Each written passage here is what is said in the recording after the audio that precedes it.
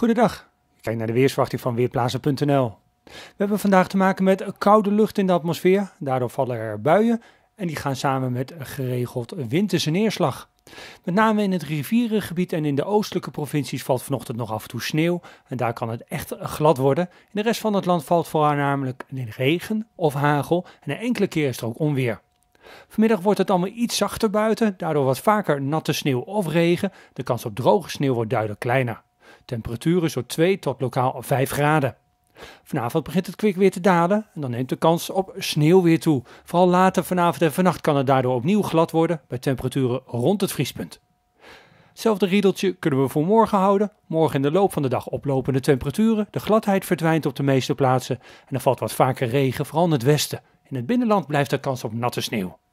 En ook in het weekend hebben we te maken met winterse buien. Lijkt er wel op dat zowel zaterdag als zondag ook de zon er af en toe doorbreekt, maar de bewolking heeft meestal de overhand.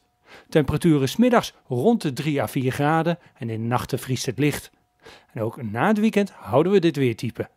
Ik ben Michiel Severin van Weerplaza.nl